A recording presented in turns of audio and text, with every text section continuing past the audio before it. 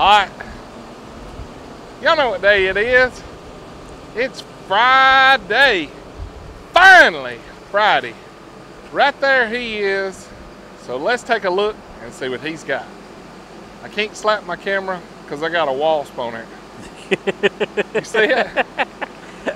Yeah, He's pissed off. I, I ain't doing that today. There he goes. Come on.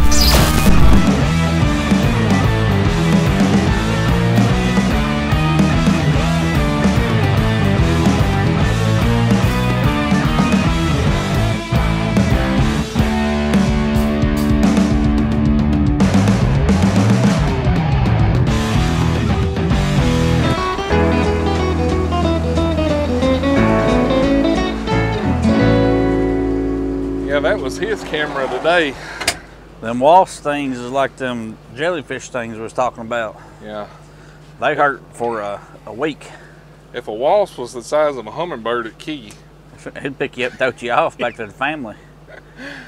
yeah, if it if it was the size of a hummingbird and it stung you, that'd been it. They could close the casket on you. well, their uh, stinger'd be that size right there though. It'd, it'd drill a hole in you. What's that? Uh, bone marrow. He'd be going for bone marrow then. That's it. Ain't nothing hurts worse than them big old red walls. I don't know them little yellow jackets pretty bad too. Well, they, they gang up on you. You get a whole bunch of them on you.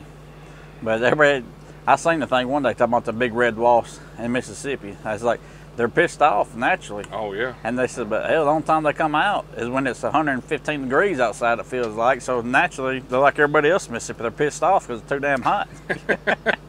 Yeah, if you ever go out on your porch and you see a red wasp and his wings is beating, you better go the other way. yeah, leave him alone. He he finna get you. Because it's funny, you see them, they all like, they lay down, and then when you walk up, they stand up. Mm-hmm. Like, all right, come on now, get a little closer. somehow. And them little wings, like I said, they get to flapping. and priming that engine up, about to launch on you. Hey, rough man. Boy, y'all got some big plans for the fourth? I would go out on the water and hang out, float around, stay hydrated. Y'all buy some stock in Michelob Ultra this weekend. But yeah, better get it before I get off work. That's always a good thing. yeah, I don't know what we're gonna do yet. We've tossed around a couple of ideas, but I'm definitely stay hydrated this weekend for it's, sure. it's gonna be too hot. But I uh, had a couple buddies like, you seen the weather's gonna cool off. Like you seen the humidity, it's three times what it normally is. So it's gonna, gonna feel even hotter out there, you know. yeah, I seen on the news this morning. They was talking about gas prices. They said it was the highest it's been in seven years. I thought, man, that's a coincidence, ain't it? Yeah. You know, Fourth of July weekend, everybody's traveling, everybody's Yep. buying gas for their boats and jet skis and all that. That's that's funny how stuff like that works. Yeah, every holiday gas goes up 10, 15 cents, so and it only goes down about four or five the following week. So they, they get you. It'll soon be where six dollars a gallon. You're like, ah, that's normal, ain't it? I remember when gas was eighty, probably eighty six nine was as low as I can remember. Yes, man. I, I remember it being when I started driving. I think it was around 96, 97 cents a gallon. Yeah. Like back then, I had an old truck. You know, I didn't give it about five miles a gallon. It didn't matter, though. You know, fifteen dollars and fill that joker up. Yeah, we can go from here. Twenty dollars if it was all empty. You know. I remember when yeah, when gas hit like a dollar forty, dollar fifty. Everybody thought the world was on the end. Know? Now, if we hit a dollar forty, dollar fifty, you wouldn't be able to get out on the road out here. this many people Yeah. lined up. That's right. It's crazy how things have changed.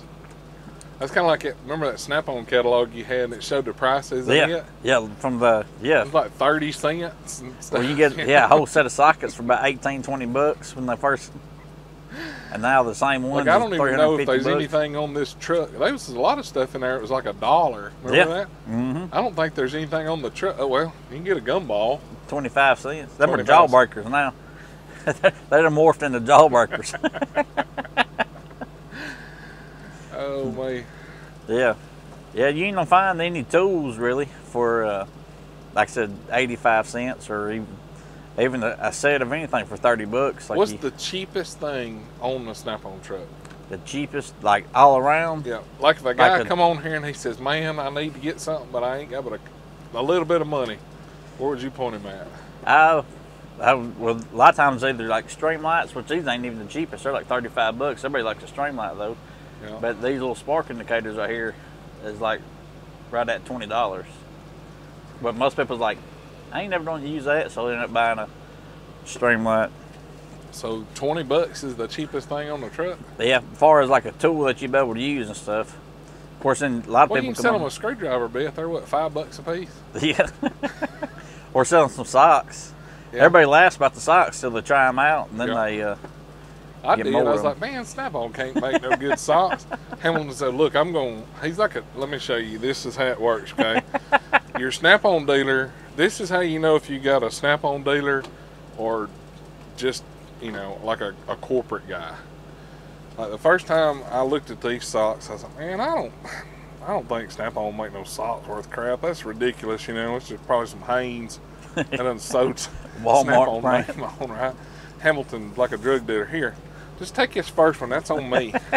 you can have that one. you just try it out. If you don't like it, well, you ain't lost nothing. Then the next week I come back. I wore them that next week. Next week I think I bought like five pair, Yeah, and I probably bought probably 25 pairs since then. uh, probably at least that many. So if your dealer don't give him give you a pair of Snap-on socks to try, you'll not ever get back on his truck again. And I'm sorry if you're a Snap-on dealer if you won't give your guys a pair of socks. Well, when you're out of business, Then you know why. let Hamilton know, and that way he can buy your inventory. Yeah, we I had to order some more socks the other day 'cause my son then been. I've been wondering like where my socks have been going. My drawers. I usually try to have a whole bunch of socks, and my drawers been getting thinner and thinner. And I know I ain't wore no holes in them. Now they come to find out, my son then he done went through and got all my larges. I got large and extra large. He done got all my larges out. They're up in his dresser now. So Well, this is what we need to do. We need to teach him where you keep your keys, and he can just unlock the truck, come on here and get him some new pairs. Well, he came out the other Just day when I got home and said all his socks was dirty. He needed another pair of socks. So I said, I think you need to wash them, what you need to do. Did you let him put it on truck account, or did you make him pay for it in full? nah, he had to pay for it in full. he ain't old enough to have credit yet. He got to pay for his stuff. Oh man, that ain't right. yeah, if your Snap-on dealer won't give you a pair of socks, I wouldn't buy nothing else on his truck. Cause First pair would be free. that's it. A smart dealer will give you the first pair because he knows once you wear You them, gonna you buy can 'em. come back and Yeah. buy some more. Yeah, we we go through a lot of socks. Sell a whole lot of socks. yeah. Especially at Christmas time, you get a lot of wives call, want to buy a dozen pair or something like that. Mm-hmm. Because a lot of times, like at Christmas, you can get some deals where you buy 10, you get two of them free and stuff. Yeah. Well, have you had a hard time getting redbacks, or you tried? I, I ordered a pair a couple or a couple months ago, and I finally got them in about three weeks ago for a fella. Uh, the Redbacks has been, I guess, probably having a hard time getting them out of Australia. I think with the, just shipping. Yeah. Everybody's talking about how they're back ordered, back ordered, back ordered. Um, they're Yeah. good boots. I like. Them. They are. They're very good boots. Yep. I got some for uh, another one. of My, well, that's one I ordered some for him the other day. So we'll see how long they take to come in then. There you go. Still no word on when the shipment's coming in. The toolbox, Well, the ones, the ratchets. the ratchets. I think the ratchets be two weeks. What he said. Boy, they they'll just wait till next year, and then when Get they the release the one coming out. impacts, you know. We got another half inch impact coming out. I seen the seen that somebody posted a picture of it or something. Yeah, it looks just like it's the 9, CT 9080. It looks just like the CT 9050. It's just stronger. How much it's supposed to do? I like breakaway is around 1500. Holy cow! Yeah. The breakaway on the other one they says around a thousand or fifty, but I know it did way more than that though. We'll see when they uh, Well, that's cool. we get that bad boy in. I, I don't got know how you them. measure it unless you do a, you know, like we did on that other test. Yeah, I would to do a torque multiplier. I'm sure they got a uh, some type of a measuring tool they can put them on to see what they like a dyno, a Yeah, we did impact that. dyno. We did that with that torque multiplier, and dude, fourteen hundred. We well, we did fourteen hundred, and it did it, and then we did fourteen fifty. Man, that's spooky, right there. That's a lot of pressure. Well, think about the vise and the table Mhm. that the vise is up under to hold that. Yeah, they, we had to hold the table down to yeah, to make it get to that, but That's a lot of weight, man. 1,450 foot I'm pounds. trying to twist on this bad boy because this was vice just like this one, Yeah, wasn't it? it's same vice, yeah. Putting It didn't. 1,450 vice had foot no pounds. struggle at all. Them vices is stout right they there. bad. That's one of the best things. That and that jet bench grinder was probably the best two shop essential equipment Yeah. pieces I own. You'd be surprised Because I have beat the ever living shit out of that vice. Right? Well, not that vice, but a vice just like that one. And it takes it. Like, I know for a fact I seen Clay's with a, a flame on that bad boy a few times over there working on Yeah. stuff, heating it and bending it and whatever. And then I, that 20 pound sledgehammer that day, Yeah. you come in when I was bending that metal. I had a piece of metal in there. It's probably, I don't know, a little, it's probably 5 sixteenths, Thick. maybe 3 eighths, I don't know. And I was beating it with a 20 pound sledgehammer in that vise. Yeah.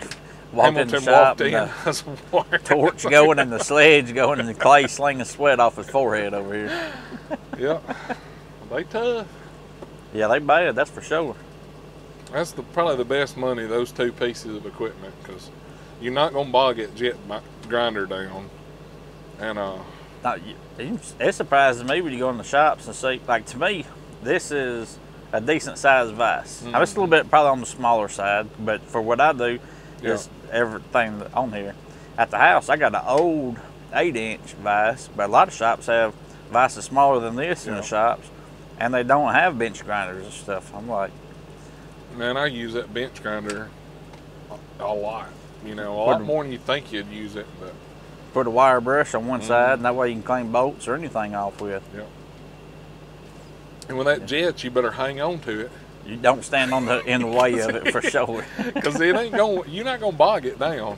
If you shove it in there hard enough to grab it, it's it's coming out. Remember it? It chunked that socket. I was cleaning off that one day. That old socket. Hold it with. I can't remember pliers what it was, but it jerked it out the pliers hands and It's it. stout, boy. Yeah, I wouldn't want to be standing in front of it. It'd been like taking a nine millimeter to the chest. I imagine. That's true. Well, I guess we're gonna get in here and get some work done, and finally, finally, finally, call it the end of the day for this Friday. So hopefully, you guys will have a good Fourth of July weekend. Don't drink and drive, drink and ride. That's, That's the it. smart thing to do. There'll be plenty of roadblocks out, I'm sure. I guarantee you. All right, guys, like always, thanks for hanging out with us today. If you liked the video, hit that thumbs up. Check over here for merchandise, cool tools, and discount codes down here. And if you're not subscribed, you take your finger and you punch that button. Just click it. You guys have a great, happy 4th, and we'll catch you later. See ya.